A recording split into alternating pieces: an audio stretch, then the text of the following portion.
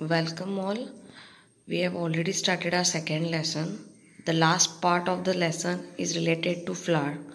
So I'm just going to show you which are the parts of a flower and what are they called as. Okay, so before we proceed further, you can see over here the hibiscus flower. Okay, I'll just show you. Fine. So, if you observe this part, or you can see over here, this part which is here. This is called as petiole. This is connected to the stem. This end is connected to the stem. And this end which is swollen. With the swollen end is called as receptacle. It is called as receptacle. If you observe this this end over here last end which I am touching again and again. It is called as the whole this end is called as total stalk is called as petiole. And this upper part or this swollen part which you can see is called as receptacle. If you observe in this flower the last end right now it is not properly presented here. It is been cut down.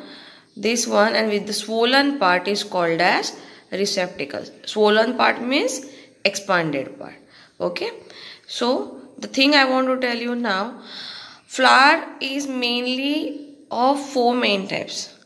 Which are the main types of or which are the main parts of flower yes it is calyx corolla androecium and gynoecium now you will be thinking what are this? What is calyx? What is corolla? What is androecium? And what is gynoecium so I will just tell you one by one. Calyx means what? In the bud condition. Right now, this total which you can see, yes, it is not open.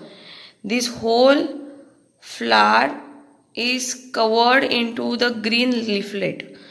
This total it is covered and this total everything which is there in bud condition is called as calyx. So this is first part of the plant. So what is now corolla? Corolla means this downward parts along with these petals. You can see the petals. Yes or no? So these petals which are there along with that whatever forms is called as corolla. Now I will show you the androecium and the gynoecium. Now what is androecium? Androecium consists of stamen but each stamen but each stamen consists of anther and filaments. If you observe over here, this you can see yellow color one. Can you see this yellow color one? I'll just focus. Okay, so this yellow color one are called as anther and what is filaments you can see they are attached to that particular with the help of small red color one yes. If you observe I'll just remove one and I'll show you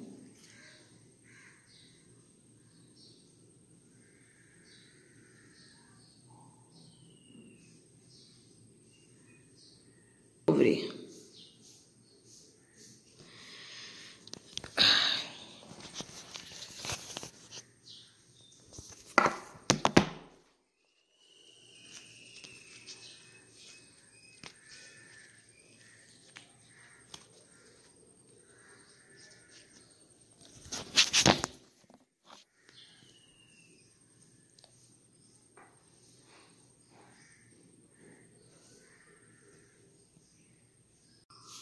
yes and this one you can see i'm just touching it again and again. Yes this part is called as the ovary. Okay so these are the parts of the plant. So what actually happens i will tell you. These anthers which are present this one yellow color one they burst.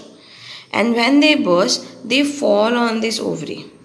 This is the male reproductive part and this is the female reproductive part.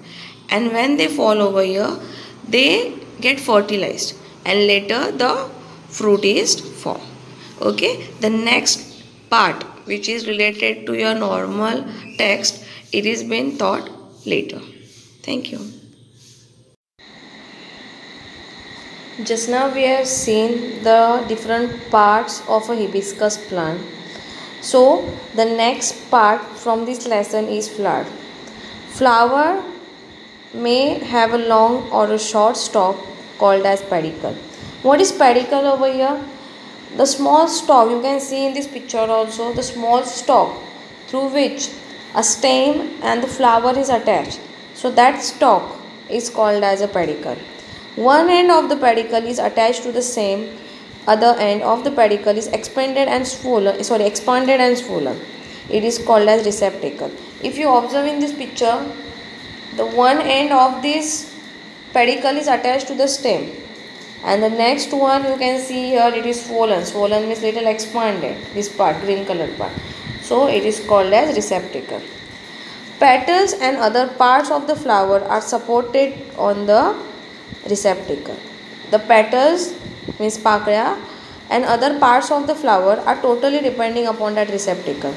Calyx corolla androecium gynoecium are different parts of a flower if anyone asks you the question what are the different parts of the flower, you are supposed to answer the calyx, the corolla, the androecium, gynoecium are different parts of a flower.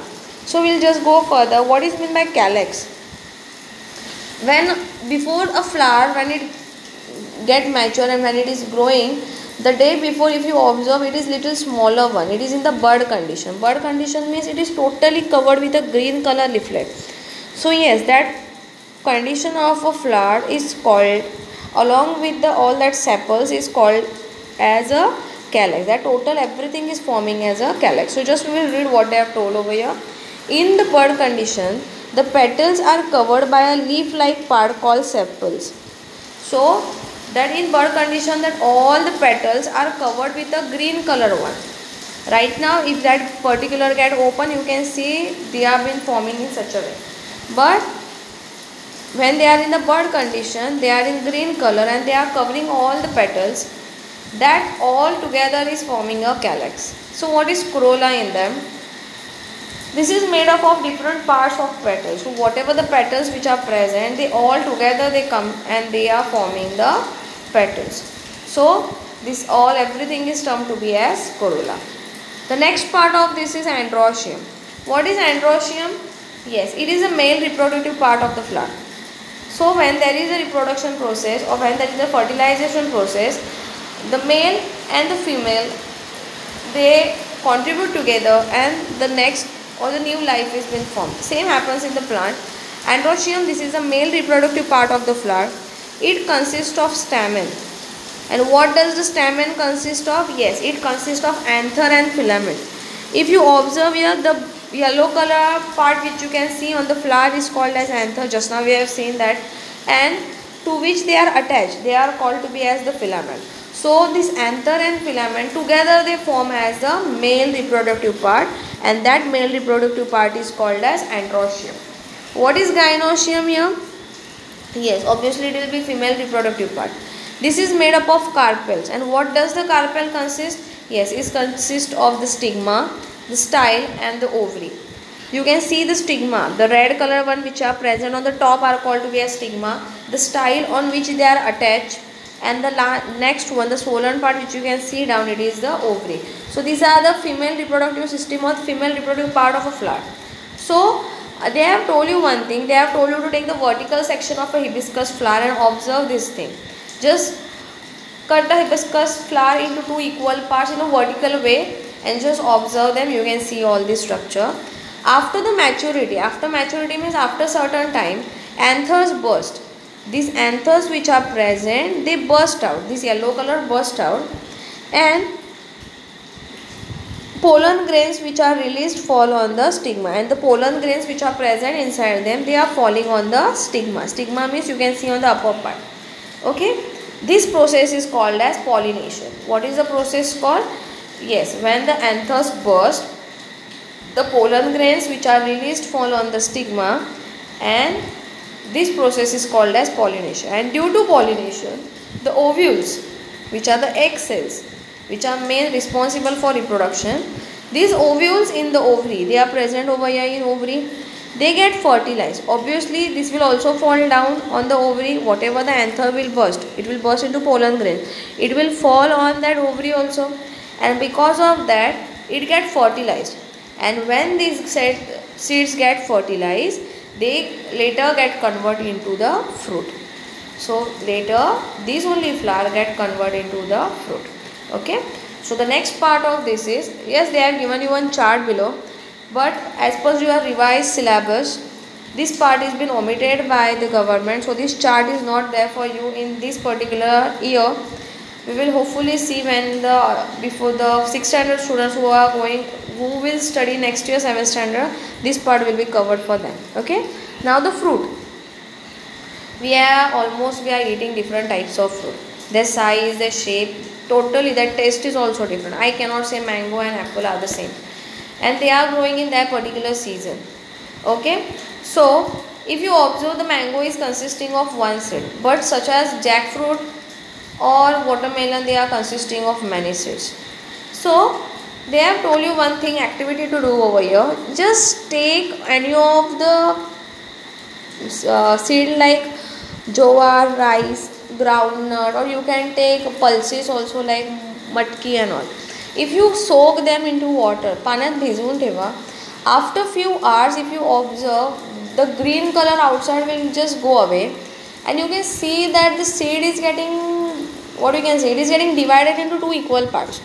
So that two equal parts when this stage occur it is called that that seeds belongs to the dicotyledonous dicotyledonous seeds they are said to be as dicotyledonous seeds and the seeds which do not divide into two equal parts are called as monocotyledonous seeds so the seeds which are dividing into two equal parts are said to be as dicotyledonous seeds and the one which are not dividing into two equal parts they are remaining as it is a single one. They are said to be as monocotyledonous seed hopefully this lesson is over over here. I think so you have understood it more easily more clearly. If there are any doubts just please message me in my on my personal number. Thank you